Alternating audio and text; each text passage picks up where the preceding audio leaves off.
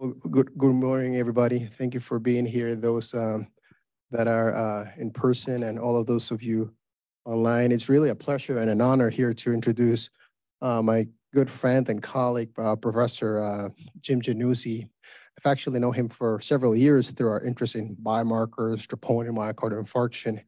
And as many of you know, our system is making the big change just in this January from, from changing from uh, standard troponin and BNP to high sensitivity to troponin and NT-proBNP.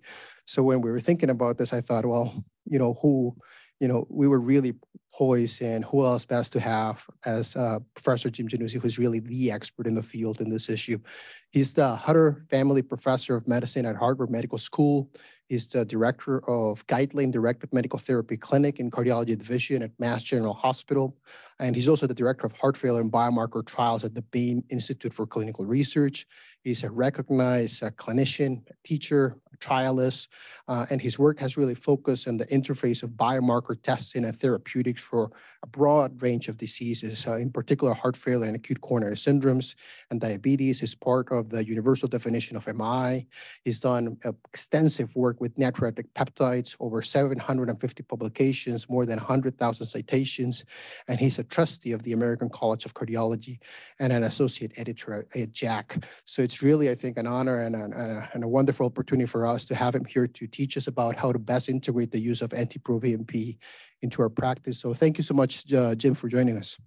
Yeah, Yader, thank you for for asking me to to join you virtually. I'm sorry that I I uh, couldn't be there uh, physically, but you know I I really love Minneapolis, love love your health system. It's been um, great working with with you all over the years, uh, intermittently for different reasons, and this is a good opportunity to get reconnected and and talk about this change that you're making. Um, and you know, for the audience, you've got a world's expert on troponin, uh, that being Dr. Sandoval, who will help guide you with the shift from troponin I to troponin T.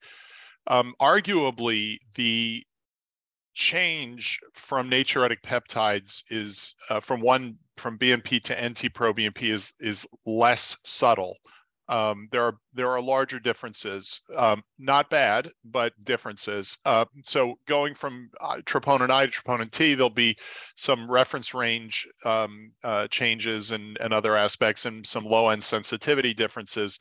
But um, with uh, with the natriuretic peptides, it will it will take a little work, but um, you know not in a bad way, like I said, because there are some real advantages with NT-proBNP um, that I think uh, you'll hopefully recognize over time. So my disclosures are here. Uh, I am a, a I'm the director of uh, heart failure and biomarker trials at the Baim Institute, and we do a lot of industry-sponsored research, so it's important to recognize that. But probably a larger disclosure is the fact that you know I'm a clinician, and and um, despite the fact that I've been working with biomarkers now for, uh, gosh, uh, um, 25 years, maybe longer.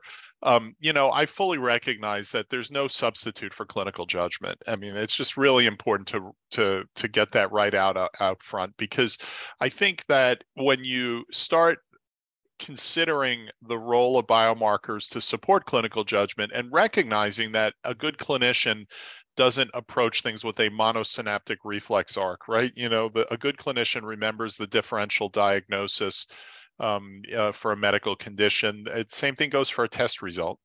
Um, but it, th- that means, therefore, that even when a natriuretic peptide test returns a result that may not necessarily um, uh, be on target for the diagnosis of heart failure, in quotes, in air quotes, um, it, they may be telling you something really important um, about the, the patient that might not be as obvious at the bedside. So I, I, I you know, it, it cuts in both directions. You know, we need to keep our our thinking caps on, but it's also necessary to recognize that you know it's very unusual to get an analytical false positive with with uh, with troponin or natriuretic peptide tests. So when they're abnormal, it's up to us to try to figure out why.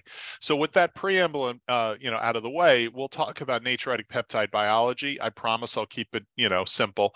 Um, we'll talk about the established applications and then the emerging uses that I think really are going to blow wide open in the next couple of years.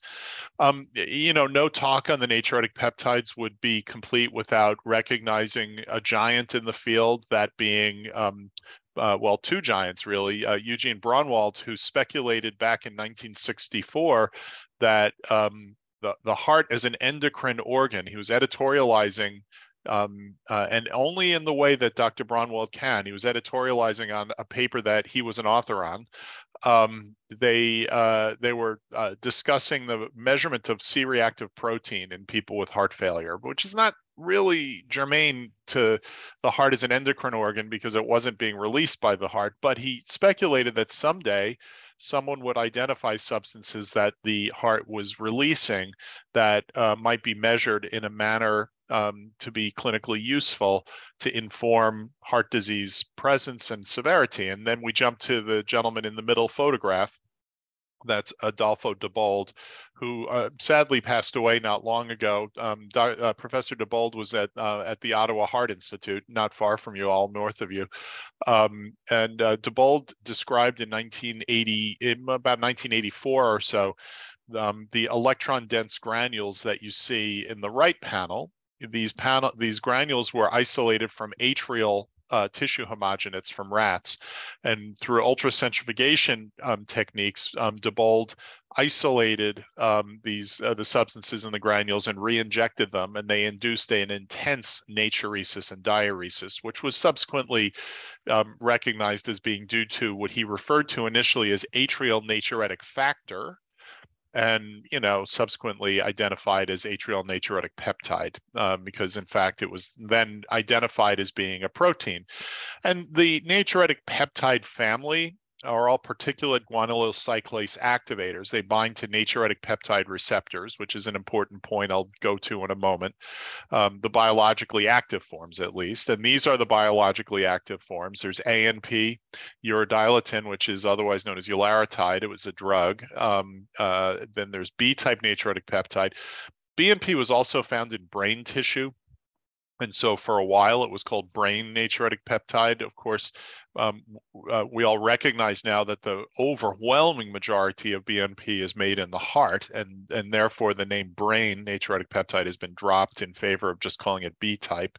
There's a C type natriuretic peptide. I don't know why this is out of order, but a C type natriuretic peptide uh, isolated from endothelium, and then uh, outside of the the human um, uh, um, uh, species, there's a, a, a D type natriuretic peptide isolated from uh, isolated from venom uh, from the green mamba. And the reason why they're grouped this way, I was joking, is because the, the first four bind to the A receptor and CNP binds to the B receptor for natriuretic peptides.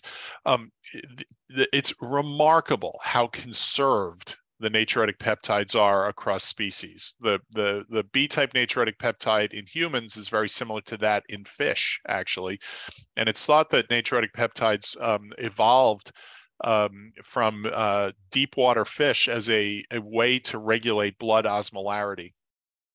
That at least that's the theory, um, and uh, the, the the ring structure in particular is critical for, and there's a reason why I'm bringing this up, is critical for bi- the biological activity of the bioactive natriuretic peptides. So how did we get to where we are now in 2023 in Minneapolis, Minnesota, talking about N-terminal pro-BNP?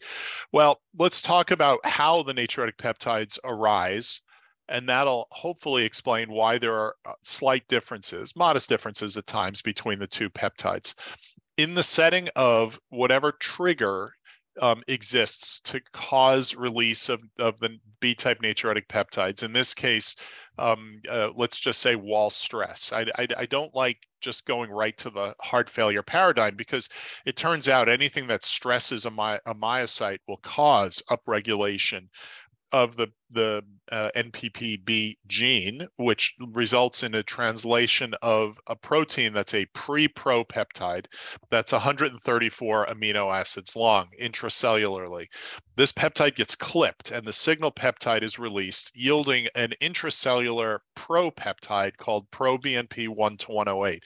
So this 108 amino acid peptide is a precursor that subsequently gets processed and cleaved into N-terminal proBNP, a linear 76 amino acid peptide that, as far as we know, is biologically inert. In addition, it liberates the 32 amino acid BNP with that ring structure that I mentioned earlier, requisite for its biological activity. And that's the business end of the molecule. BNP 32 binds to, as I've already showed you, the NPR-A receptor. So it binds to the A receptor um, triggering intracellular cascade, resulting in vasodilatation, reductions in fibrosis, hypertrophy, natriuresis, diuresis, improved lusitropy. And really, if you want to think about it teleologically, what the heart's trying to do is it's trying to counterbalance the renin-angiotensin aldosterone system. It's not a perfect sort of, you know, balancing act, but nonetheless, there you know there's clear evidence that things that activate the the RAS will activate the BNP cascade as well. Now, I've got up in this upper left-hand corner the fact that neprilysin, found in the brush border of the kidneys largely, but also circulating in blood, um, is responsible for clearance of, uh, of BNP, ANP, and CNP, actually uh, ANP more than uh, the others. Um, and that's true because when you look actually at this snapshot, this picture of, you know, a perfect world where you have the intracellular pro-BNP 108 being clipped into these two peptides. Back when I came and spoke at Abbott in 2005 about natriuretic peptides, I probably showed a slide very similar to this and that was what we understood as the truth of the situation which is to say that there was one and the other and they were you know completely different and there was no relationship. And it turns out actually that this is quite incorrect in in multiple ways. The first is that owing to the fact that the body wants to get rid of bnp quickly bnp has a half-life of around 20 minutes or so it's biologically active, so it binds to receptors and stimulates biological activity activities, diuresis, natriuresis. The body wants to get rid of it. So neprilysin acts quite rapidly. There are other enzymes, DPP4, meprin A. There are other um, metalloproteinases that will degrade BNP. It turns out actually that when you're measuring BNP, you're getting a signal that's related to a number of different fragments being measured. It's not just BNP. Um, and that's, I think, relevant because um, uh, the, it turns out that each of these different fragments has have different biological activities. And so um, it, it, it's also of note that while um, we previously thought that NT-proBNP was sort of hanging out alone, not being degraded, you know, perfectly pristine and easily measured, it turns out, number one, the N-terminal portion of NT-proBNP has variable amounts of, of glycosylation, sugar deposition, which may cause um, variable capture in the immunoassays that we use for its measurement, which is why it's reassuring that the assays that we all use for NT-proBNP are largely based on the same antibodies. But in addition, remember this precursor peptide pro-BNP 108, it turns out that a lot of it is released, particularly in advancing heart failure. And what's really pretty amazing about this is if you think about it, immunoassays that uh, that will uh, detect NT-proBNP or BNP will actually detect this peptide. So regardless of which peptide you're measuring, especially in advancing heart failure, much of what you're detecting is this large inactive precursor peptide. So it's a preamble to say that we've learned a lot about the things that we're measuring in the setting of natriuretic peptide uh, testing, but there's still a lot that we need to learn. The good news is that the results of these tests remain very robust and provide us important clinical information. Now, what about clearance? I've talked about release, and I've me mentioned neprilysin already. One of the most common misconceptions about um, clearance of BNP and NT-proBNP is this absolutely incorrect um, uh, concept that uh, NT-proBNP is more dependent on kidney function for its clearance. It's just simply not true. Um, we did a, a mechanistic study measuring um, concentrations of NT-proBNP and BNP going into the kidneys and coming out of the kidneys, um, and looked at corrected for renal blood flow, and found that around 20 to 22 percent um, of clearance of BNP and NT-proBNP are related um, to uh, to, to uh, renal clearance, and so um, down to a GFR of like 15.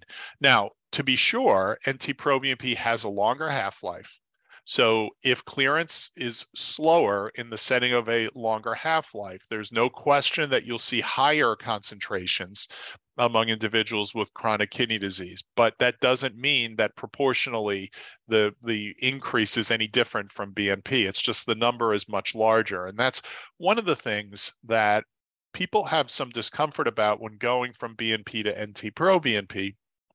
Very similar to when you transitioned from conventional uh, troponin to high sensitivity troponin, where everything was a thousand times larger.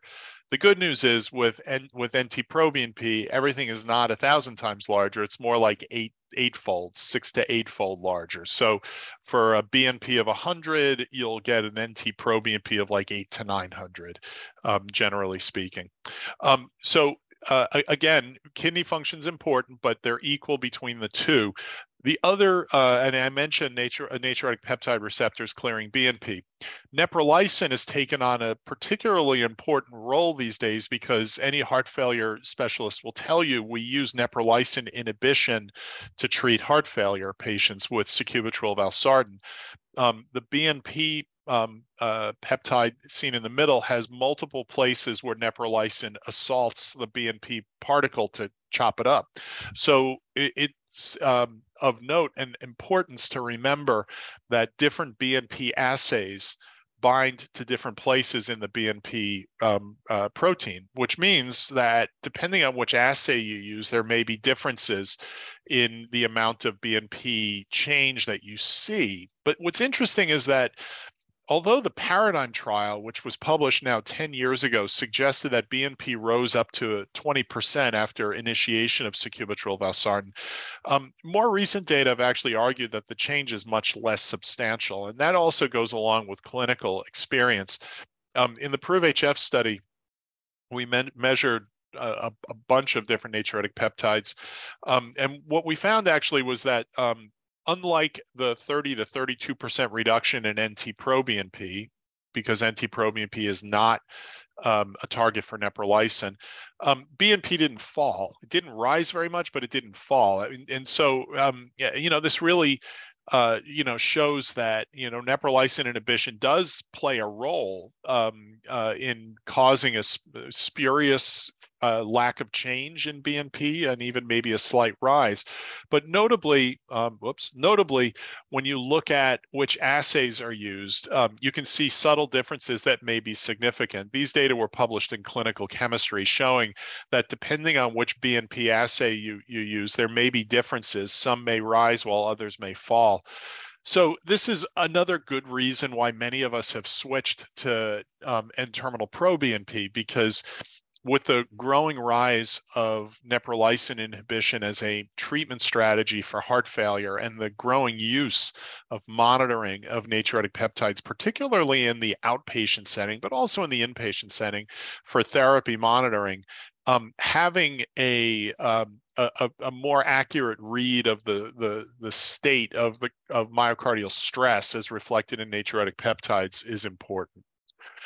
So clinically, when we're thinking about interpreting natriuretic peptide concentrations, I want to ask you to think about the venue. So let's think as clinicians now, the venue with which you're going to measure these peptides, because how you think about the results will differ somewhat depending on where you're measuring them. And of course, the usual circumstance is measurement in the acute setting, right? In the emergency department, acute dyspnea, patient coming in with uh, volume overload and and if you remember that cardiomyocyte stress transmural wall stress is the driver for natriuretic peptide release then contextually in a patient with acute heart failure what drives acute heart failure is volume overload generally speaking. And so when we when we think about acute heart failure the majority of the signal is driven by volume.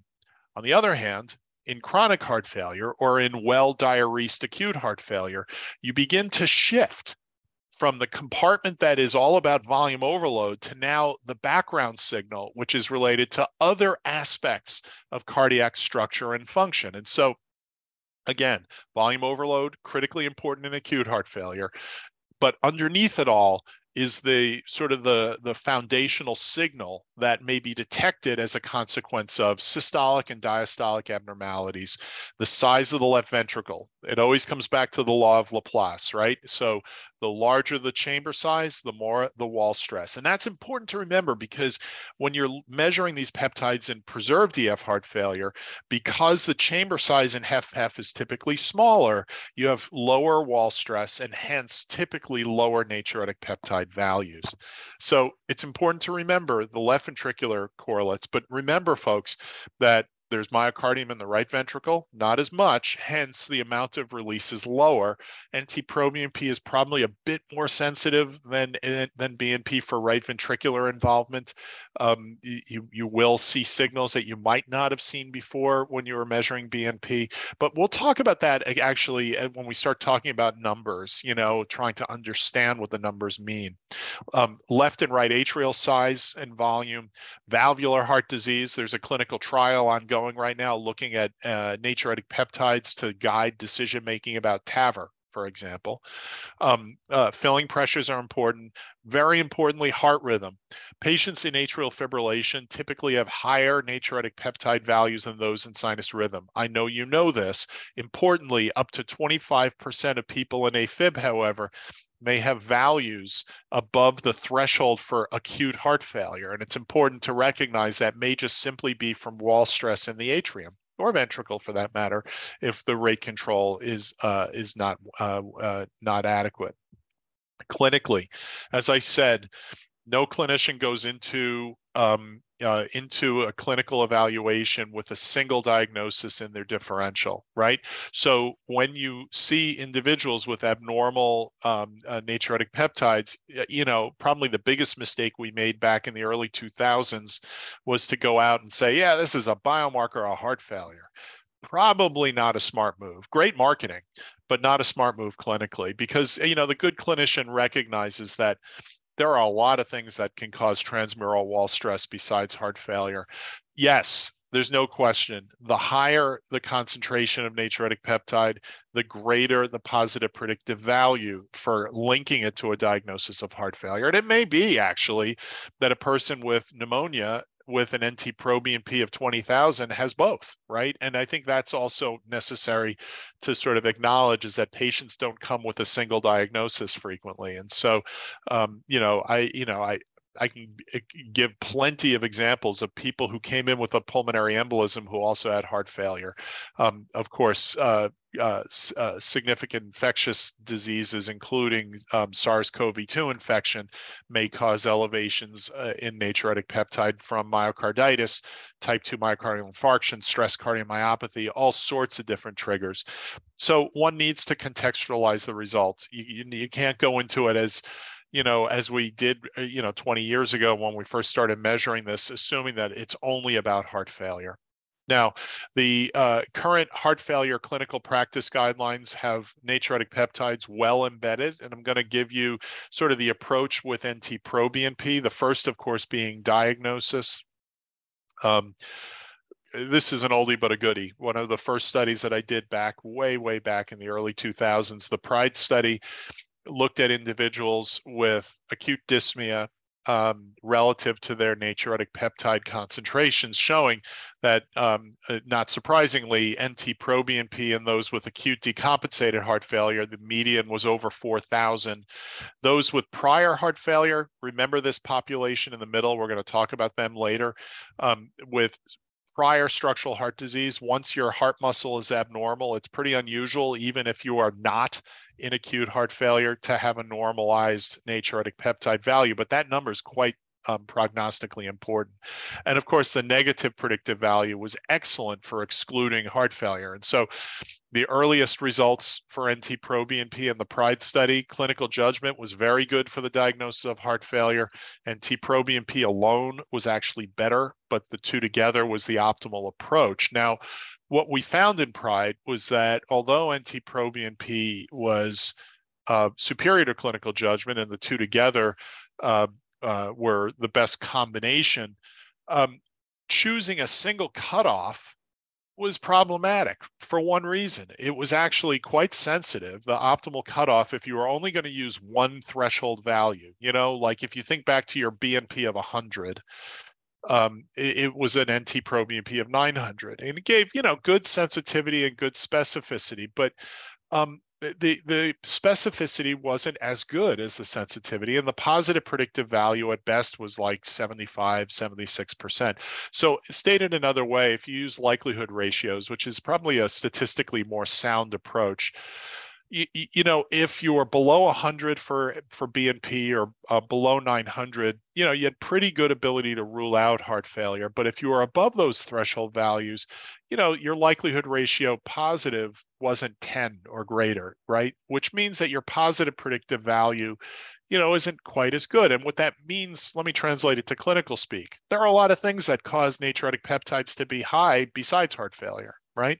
So we began to ask, well, what explains the lower positive predictive value? And we actually turned to the BNP literature to try to understand this because at the time we it wasn't really well understood with NT pro BNP. So we we started with the BNP literature and what we found was that for every decade increase in age there was a 30% higher likelihood for a BNP over 100. So this is why with BNP you use the 100 to 500 gray zone. More or less, it's driven by age and the comorbidities that come along with it. So we decided to try to address this with an age-adjusted approach for cutting natriuretic peptide concentrations. And so we did the first of two different studies called ICON. So the original ICON study um, looked at both the ability to exclude heart failure and the ability to diagnose heart failure. And what we found was that if you're healthy, it didn't matter what your age was. And an NT-proBNP below 300, regardless of age, provided a very high sensitivity, a negative predictive value of 99%, the negative likelihood ratio right around that 0.1 threshold. So, so point number one at the Massachusetts General Hospital, in our lab information system, it lists the cutoffs and it says an NT-proBNP below 300, regardless of age, provides very high negative predictive value for excluding heart failure. So, so that's important to, to remember. On the other hand, while 900 alone was pretty good for identifying heart failure, to improve the likelihood ratio and improve positive predictive value, we found that an age stratified cutoff approach, and believe me, we looked at age, kidney function, age and kidney function, sex, BMI, all sorts of different combinations. It really just came down to age an age stratification of less than 50, 50 to 75, and greater than 75 with optimal cutoffs that are just double each level 450, 900, and 1800 improved um, positive predictive value significantly and was better than the single cutoff strategy. Now, fast forward, gosh, 15 years later, because of any number of reasons, not the least of which the FDA has required all of the natriuretic peptide vendors to reevaluate their uh, assays and cutoffs, we did the ICON Reloaded study. And ICON Reloaded went into the the um, went into this with the same approach, which is we wanted to validate the cutoffs from ICON that we uh, we had identified 15 years earlier both for ruling in and ruling out heart failure. And the punchline is much like in PRIDE, much like in ICON. The updated uh, uh, NT-proBNP assay, this is from Roche Diagnostics, had a higher uh, concentration in those with adjudicated heart failure with an excellent balance of sensitivity and specificity, an area under the ROC curve of 0.91. And much like in prior studies of um, uh, uh, of heart failure and natriuretic peptides, the triple cutoff strategy had a, a really even better um, uh, uh, ability to identify heart failure and held on to its negative likelihood ratio as well. So um, uh, really when you contextualize the results, very similar area under the ROC curve to other trials, um, comparable, if not superior positive likelihood ratio, and excellent ability to rule out heart failure. So that's the good news. But there's no simple way to go into this. And again, I absolutely refuse to take the approach that some back in the 2000s initially went in with that who would say, yeah, you know, all you need is a, you know, one this biomarker, it's all good. Wrong. You need to remember the differential diagnosis for the test. We don't measure uh, you know, transaminases without thinking about what causes them to be abnormal. You can't measure a natriuretic peptide without thinking about what causes them to be a- abnormal. So, uh, the clinical diagnosis is important. Remembering the um, the heart uh, uh, morphologic aspects of what makes the, the test abnormal is important, but also remembering and rem- troubleshooting what causes these tests to be abnormal when the person may not have heart failure. So again, you've seen this list previously. You know, I mean, this is yeah, you could take natriuretic peptides out and put troponins in, what are the things that make these tests abnormal in the absence of a clinical diagnosis of heart failure? And it's whatever causes wall stress, right? And so remembering that is critically important. Now, of course, very high values are much more likely to be associated with heart muscle abnormalities, brushing up against that clinical diagnosis of heart failure. It is a continuous variable. Um, on the other hand, unexpectedly low concentrations sometimes throw clinicians. And this is an important point to stop and ask oneself. I want you all to think about, and you've got experience with BNP, and the same thing goes with BNP. What is a normal natriuretic peptide value, right? I just said on the last slide, these are continuous variables, right? So starting from zero all the way up to with NT-proBNP, 35,000 is the upper bound for the assay. Most labs do one dilution. So from zero to 70,000, right? Where does normal sit? And, and that's important because when a person with obesity hits the hospital with typically with HFpEF, right? and they've got acute heart failure, it's not at all unusual to see their NT-proBNP or BNP to be below the upper reference limit, right? So it's not turned red in your lab information system. But here's the key. A middle-aged person, they'll get an NT-proBNP threshold of 900, right? 899 is not normal. No matter whether a person is middle-aged or elderly, a normal natriuretic peptide, if I measured an NT-proBNP in Dr. Sandoval, for example, it'd probably be less than assay. Um, mine is 22. So when you look at nature NT proBNP values and they come in at like 200, 300, 400, that's not normal. And so then it's about contextualizing the result to the patient sitting in front of you and looking for values, uh, looking for aspects in their clinical history, obesity, um, which suppresses the BNP gene and causes lower release in the setting of heart failure less wall stress from heart failure with preserved EF, more mild heart failure. So now you're shifting towards that, that other compartment that causes release of cardiac structure and functional abnormalities, right heart failure, less myocardium, treatment of heart failure, people treated with neprilysin inhibitors tend to have lower NT-proBNP values. All of these factors are important to think about so you don't, you know, take the bait and say it's not heart failure if the NT-proBNP is like 500, right? Because often, and particularly if you integrate clinical variables that help you to understand the presentation um, that may assist with the interpretation of these intermediate natriuretic peptide concentrations. And importantly, folks, remember that um, if you remember that a, normal NT-proBNP for someone, say, under age 50 is, you know, 50, 40, 30.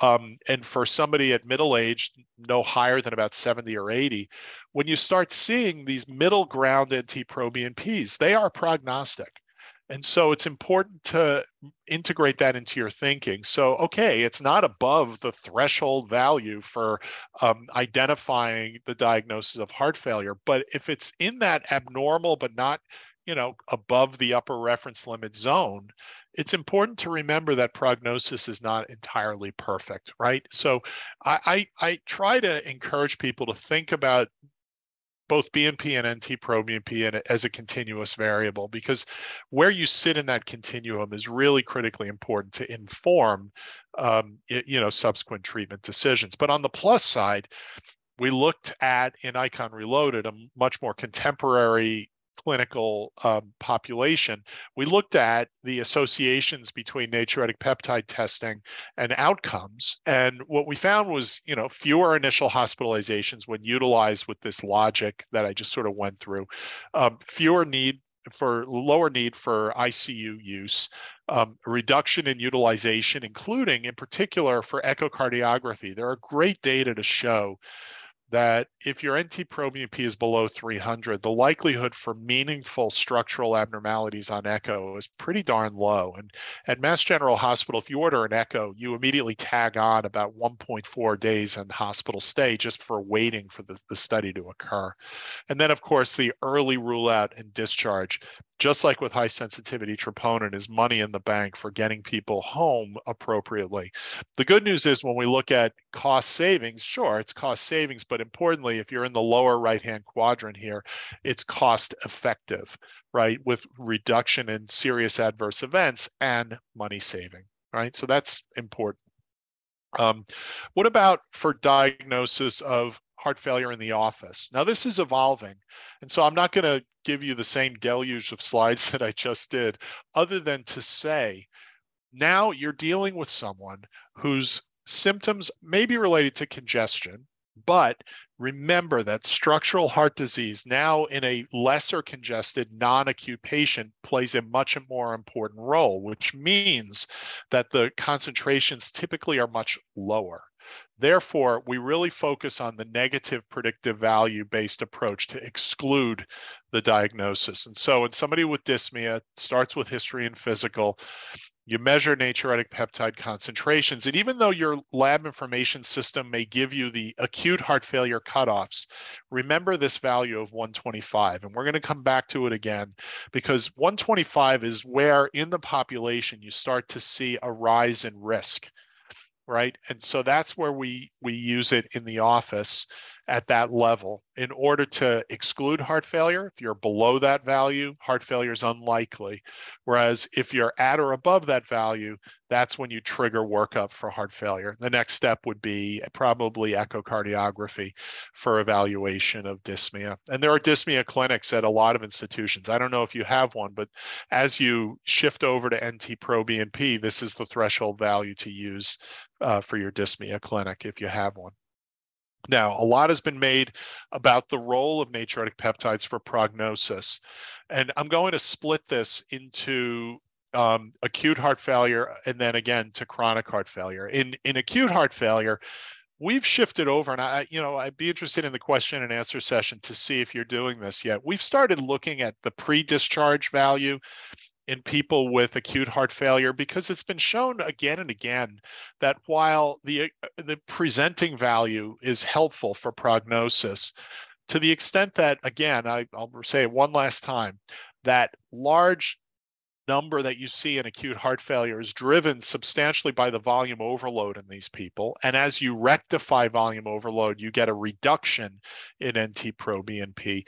The pre-discharge value, whether you use the absolute value or a relative percent, both are important for prognosticating. And in fact, in the guidelines, it's now recommended to to get a pre-discharge value because those individuals with a significant drop those folks typically have a more favorable um, a more favorable uh, prognosis.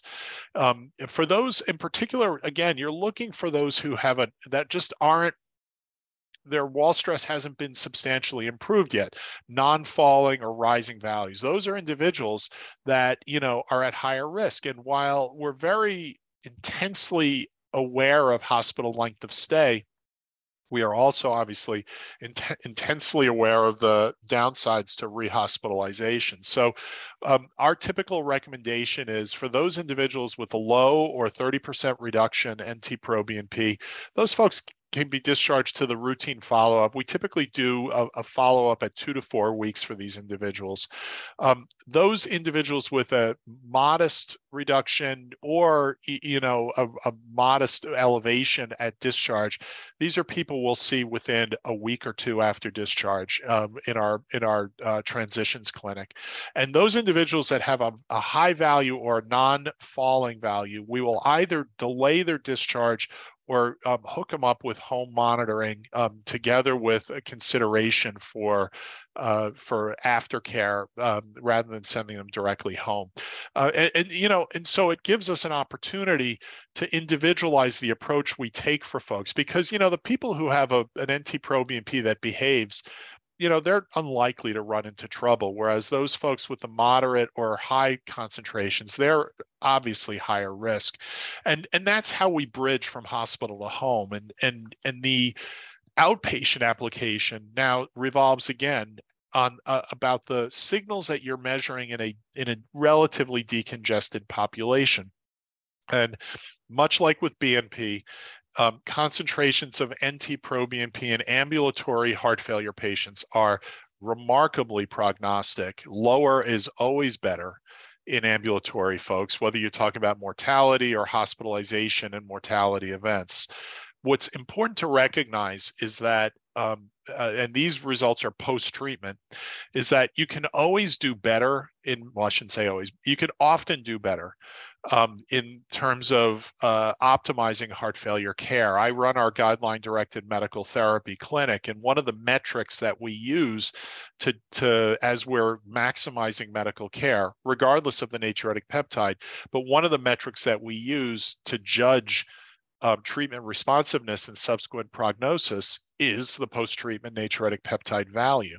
We aim for a value under a thousand that in am- ambulatory heart failure parlance is um, uh, you know the threshold value below which risk be, uh, is really quite low but there's other factors to think about there as i'm about to show you.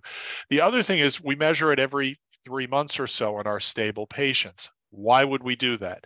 Well it's been shown by others but we have data we're about to publish showing that if you start at say two years before a hospital event People in red are people without a hospitalization. People in blue are those who did have a hospitalization. And look at the arc of trajectory of NT-proBNP. Um, when measured serially, there's actually an upward bias in those who have an event versus a downward bias versus in those who do not weeks to months before the event happens. And so it provides useful opportunity to identify individuals who might need to be considered for advanced heart failure evaluation, right heart cath, another echo, cardiopulmonary exercise testing, reassessment of medical therapy to make sure that they are being adherent to their medical care, adjustment in medical therapy, all aspects. In addition, when you think about, and I'm going to say this in a couple of slides, when you think about what the high and non-suppressible NT-proBNP might be telling you, there are a couple of important factors to remember. The first is in an ambulatory patient, I've said this a dozen times already, but in a relatively non-congested ambulatory patient, it's about cardiac structure and function right? So in somebody who's got a high or rising natriuretic peptide value, it is likely they are remodeling their left ventricle whether from progressive cardiovascular dysfunction, progressive ischemia, periods of AFib, worsening pulmonary hypertension. On the other hand, people with a suppressed or lowered change in their natriuretic peptide, um, we see improvements in ejection fraction and reductions in volume. So it's it's necessary to shift your paradigm, right? So acute heart failure, volume overload, chronic heart failure, cardiac structure and function. But it's not just that. And that's an important key to remember. So um, again, in recently decompensated patients, we see them quickly if we think that they're at high risk, and we often will remeasure within a week or two after discharge. Stable outpatients, we typically measure every three months. Those individuals that are at or below a thousand, um, yeah, you know, we we reasonably defer their sort of you know routine testing, echo, etc. Um, if they're feeling well and there's no clear evidence for decompensation uh, or progression. Um, uh, the, the other thing is that serial measurements facilitate GDMT decision making. We often will use our NT-proBNP in the GDMT clinic not only to monitor risk, but also as we're adding neprilysin inhibition, SGLT2 inhibition, uh, mineralocorticoid receptor antagonism, um, you know, the need for loop diuretics begins to become less and less uh, a pressing issue. And we use the NT-proBNP to help us to remove the loop diuretic. And that may seem like kind of a, like, I don't know if I need that, right? You can have your patient weigh them themselves at home, but it's remarkably comforting when you have someone that has been on, you know, whopping doses of a loop diuretic, and now you've got them on, you know, four drug GDMT maximized, and you're able to make that last step of stopping the last 20 milligrams of furosemide. Measuring NT-proBNP after taking the loop diuretic off is one of the ways that we know that the person isn't going to come back in in pulmonary edema in the emergency department as well. Um, as I said, we monitor for these people, those with elevated or rising concentrations. In ambulatory heart failure, again, under a thousand is your goal. Of course, everyone's got their set point that sometimes you can't get them below. That is prognostic, as I said, all the way back when I was talking about the PRIDE study. The lowest achievable natriuretic peptide in chronic heart failure tells you where your patient is heading. Serial measurements tell you what how soon the event may occur. So if you've got someone that's got um, you know an, a non-suppressed or rising value, I go through the steps that I mentioned earlier. These are the people that are going to run into issues, and these are the people who require the real focus. Now, for those that have markedly elevated concentrations, besides the fact that they may just have a progressively remodeling ventricle, it's important to remember again that there is a differential diagnosis for everything in medicine. And markedly elevated natriuretic peptides should set off alarm bells that there may be something being missed. The, the diagnosis that I, you know, I tend to be finding all the time now that I'm looking under rocks for it is the presence of cardiac amyloid. Infiltrative cardiomyopathies may elevate natriuretic peptide values independently of filling pressures.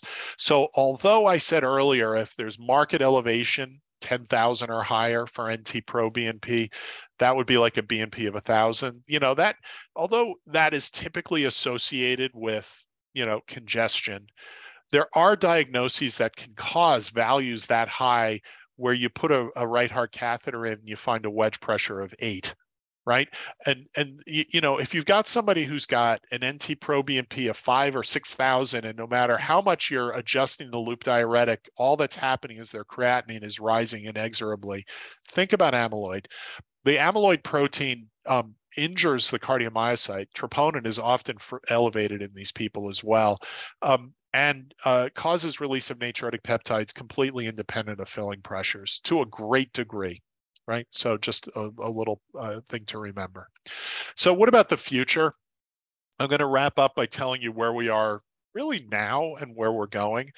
The ACC-AHA HFSA heart failure guidelines actually talk about the use of natriuretic peptides to prevent heart failure onset. What a concept. Can you identify the signal before the clinical diagnosis occurs? And this speaks to the universal definition of heart failure stages, where stage A are people at risk, diabetes being the paradigm, but hypertension, prior coronary disease, etc. Stage B are people that have structural heart disease but no symptoms, right? And so it begs the question, you know, where are we going to focus if we're going to try to prevent? And of course, it's in those stages where clinical heart failure has not been made, the diagnosis has not been made. And that idea of using biomarkers is to identify um, the presence of wall stress before even structural changes may be evident. And this is important because the previous paradigm for stage B heart failure or pre heart failure was asymptomatic left ventricular dysfunction, i.e., they've already got structural changes. But it's been recognized that you can actually detect signals before cardiac abnormalities are present.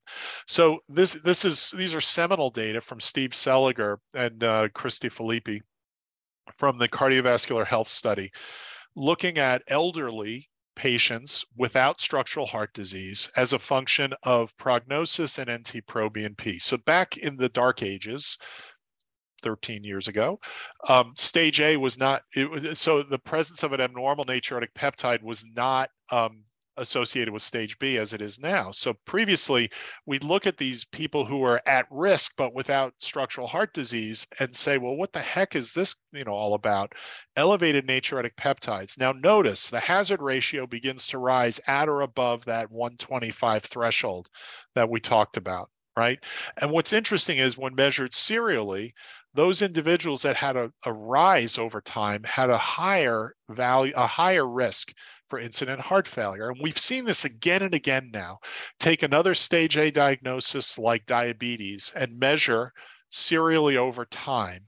Those individuals that have a rising um, NT proBNP, regardless of whether they did or did not have past heart failure, a rising NT-proBNP was associated with a higher risk for incident heart failure. So for all these reasons, stage B is now redefined, sort of like rebranding, the stage formerly known as B, um, as presence of structural heart disease um, as evidenced by uh, abnormalities on imaging, elevated filling pressures, or an abnormal biomarker, either high sensitivity troponin or natriuretic peptide. So there's a paper in JACC Heart Failure this week from the ARIC investigators. We have one coming out in JACC momentarily. Um, and we asked the same question, which is, is that logical? What, what is the impact of adding elevated biomarkers to shift people out of the previous stage A to stage B? Does it work? Does it matter? So what we found was that by doing that in this pooled analysis of Framingham, um, Framingham, uh, uh, PREVEND and uh, CHS um, and MESA, what we found was that by adding biomarkers, it particularly shifted women to stage B as well as more Hispanic individuals and Black individuals. So that's important because it helps to, uh, you know, rebalance our ability to recognize risk in populations that often heart failure risk is underappreciated, number one. Number two, although the denominator got much bigger, substantial, 20% redistribution, the ability to stratify risk in the left panel was preserved which means many more individuals could be identified as being at high risk for transition to symptomatic heart failure or cardiovascular death.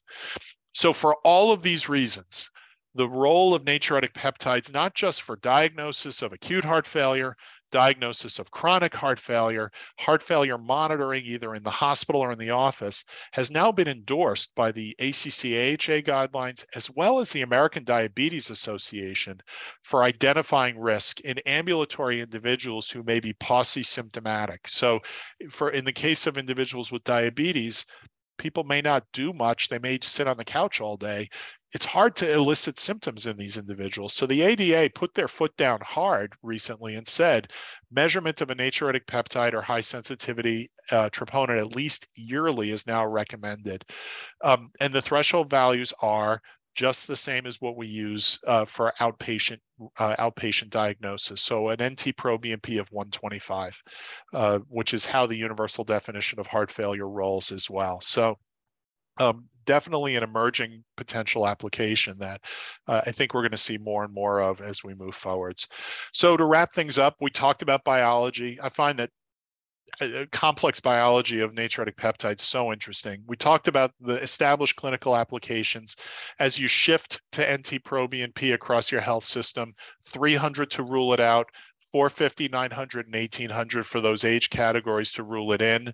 Remember, between those those values, there's you know a higher and higher likelihood for acute heart failure. Think of it as a continuous variable. So even if you're below the cutoff for abnormal, if it fits the picture, it's more likely heart failure than not.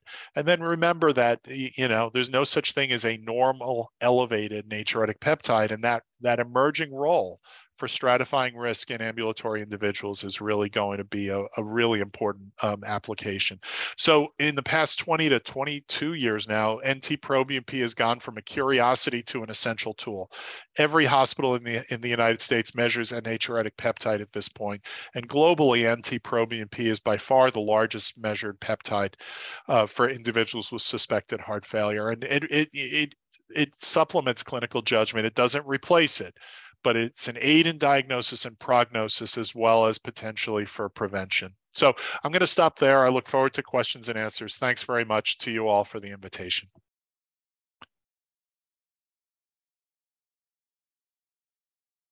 Hey, Jim, this is Yader. That was just a wonderful, masterful lecture. Thank you so much. So many lessons and points of discussion there. Uh, just to get uh, the discussion going, uh, uh something that I was wondering about is, uh, I, I, think you're, correct me if I'm wrong, I think you're the only one that is part of both the universal definition of MI and universal definition of heart failure and coming up with criteria to guide how to diagnose these very two common clinical syndromes. Uh, and for myocardial infarction, cardiac troponin is central to the diagnosis. I'm just curious in your take on, on the role of natriuretic peptides for the contemporary diagnosis of acute heart failure in relationship to that analogy. Yeah, no, absolutely, and and yes, I, I am on both uh, task forces. Um, y- you know, heart failure is a clinical diagnosis. Uh, it has always been a clinical diagnosis, but you know, I'm on a task force with the Europeans now as well, working on this, and there is absolutely no question that we are essentially shifting to put natriuretic peptides centrally into the, the, the discussion around heart failure because heart failure as a clinical diagnosis begins to fall apart when a person has no symptoms, right? And yet, um, if we're really going to be serious about prevention of progressive cardiovascular dysfunction culminating in symptomatic heart failure, we have to accept that the diagnosis can be made um, even in the absence of the clinical variables that we think of uh, when we're when we're making the diagnosis of heart failure. And so, the Europeans are making the potentially bold move of uh, you know getting rid of the, the term pre-heart failure for stage B and just calling it heart failure you know without symptoms right? Um, so you know it, it, continues to evolve. I, I don't know where we're going to come down on that but um,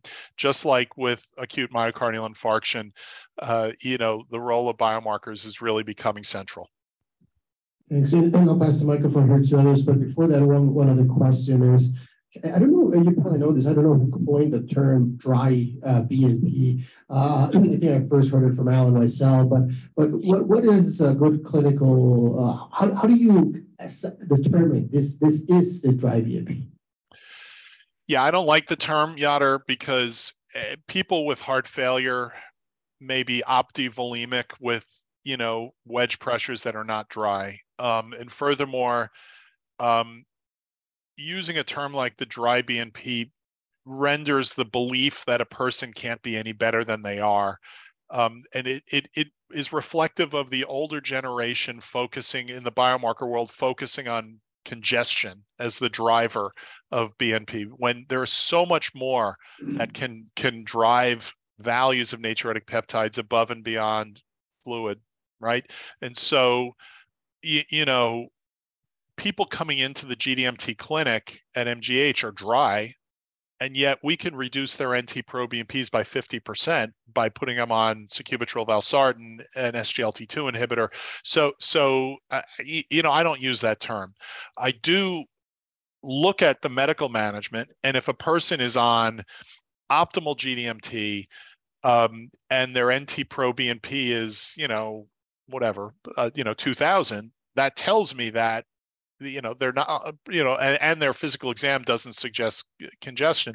It, it tells me that they're that's where their heart muscle is set at. And so i don't i don't use the term dry bnp but uh, conceptually the idea is it's as low as you're going to get it and that tells you where their risk is. And uh, you know um, I, I, I, I you you saw it during the lecture. I try to try to disabuse people of thinking as, as, of this as a congestion marker because it drives us away from all of the good tools that we have that that can lower natriuretic peptides besides diuretics. Well, thank you for uh, making Monday morning worthwhile. It was a great talk. Uh, what do we know about the mechanism for the release of this uh, uh into the circulation from the myocyte? And does it also apply to troponin? Yeah, oh, great, great question. And um, thank you for that. So I, I, like I really held back on the biology just because you know it's like a, it is Monday morning, right? And we've all only just had one cup of coffee, but um, there's some really really interesting um, biology behind the release, and I'll I'll simplify it, but it's it's really cool. Um, so the first thing is ANP is stored, right? I showed you the electron dense granules uh, for P. It turns out the Bs are not stored; they are um, constitutively continuously um, synthesized at low level.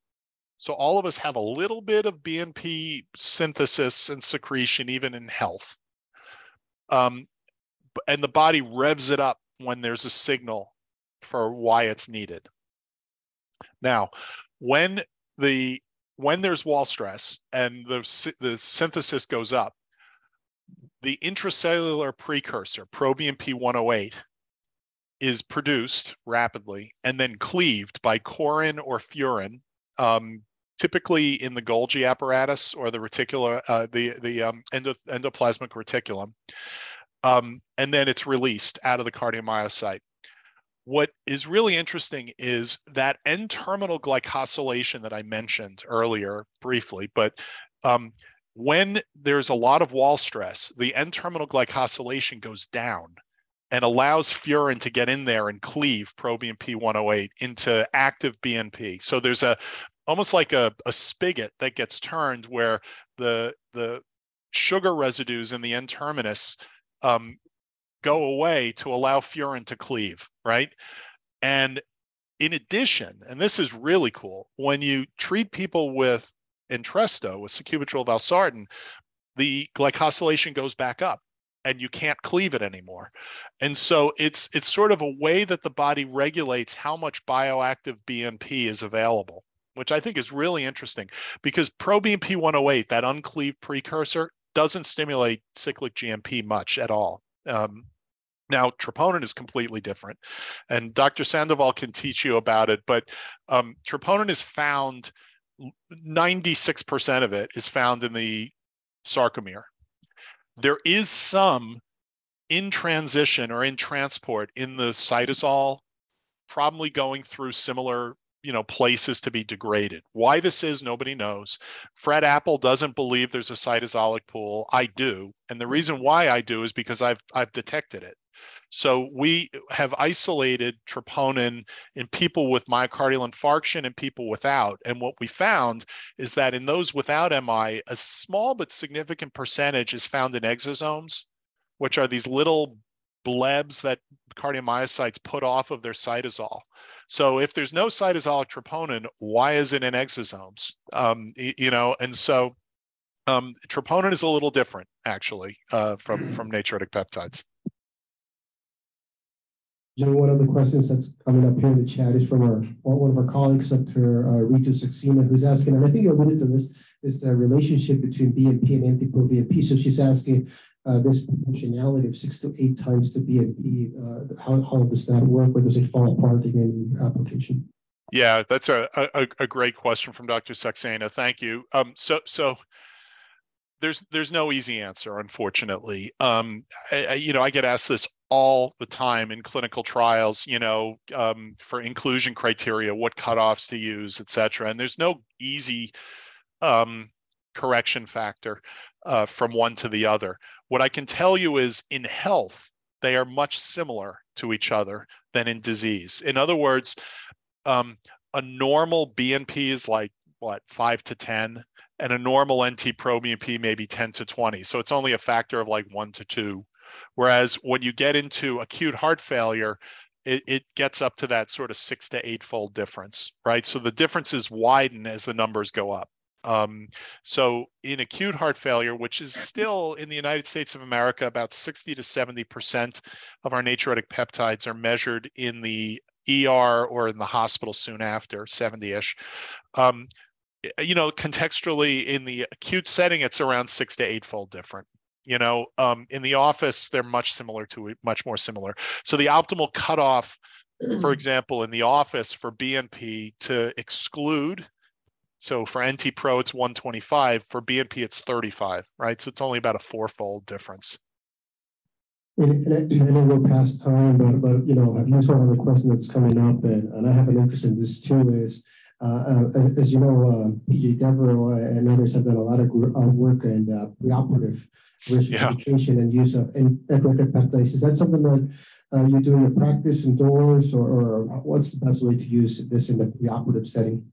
Yeah, what a great question. We haven't gotten our heads around this yet, Yader. You know, um, so what what what Dr. Sandoval is talking about is, um, and in fact, the ESC guidelines now have incorporated this. Um, it's been shown that if you think about all of the work we do for preoperative risk stratification, you know, all of the pre-op clearance in quotes, I put it in quotes because I, I, you know, if there are very few things that make me tweet up in a negative way on in Twitter, but pre-op clearance consults just drive me up the wall. Um, uh, you, you know, all the clearance we do is is meaningless in most cases, but really what you're looking for is the risk for heart failure. I mean, let's be honest, right? You know, yes, post-op MIs happen, um, but you know, uh, post-op heart failure is a real high risk situation. Uh, you know, aortic stenosis, et cetera. So. Um, the, the data that Yader's talking about is the fact that an elevated natriuretic peptide pre-op very strongly predicts post-op complications. And so the ESC has actually incorporated that as, as a recommendation as incorporating natriuretic peptides for pre-op clearance. Um, we don't do it yet. Um, but I, I, to be honest with you, I, I think it's a, a really interesting and compelling potential application. Any other questions? Well, thank you so much, this was just wonderful. Thank you so much for your time, Dr. Thank you. Really, really grateful. Great to see you all.